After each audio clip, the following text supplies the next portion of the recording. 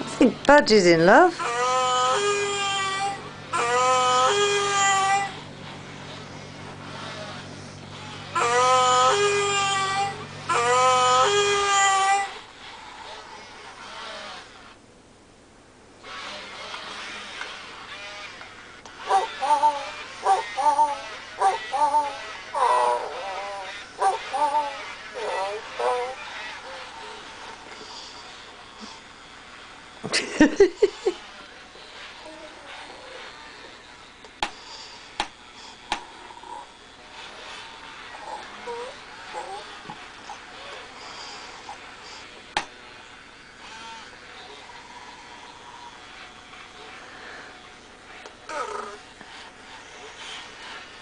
You're in love, Budgie.